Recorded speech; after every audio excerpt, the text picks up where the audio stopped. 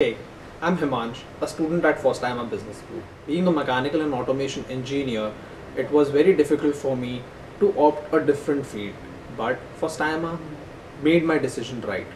Practical exposure is very important for anyone, and this is what FOSTIIMA believes in.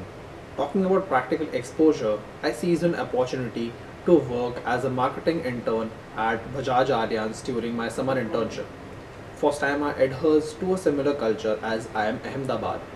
This is what really intrigued me to get into this college. Every guest lecture, case study modules, and sessions that our faculty members conducted was of really great help to get a sense that how business is actually conducted. I was able to crack my Deloitte's interview by using that all I have learned during my PGDM program and internship. I'm a person who loves to organize events as well as take part in them, and FOSTIIMA uh, gave me plenty of chances to do both. If I had to compare my journey at FOSTIIMA Business School to a roller coaster, I would definitely say that it's ultimately one of the best rides I have ever been on. Thank you.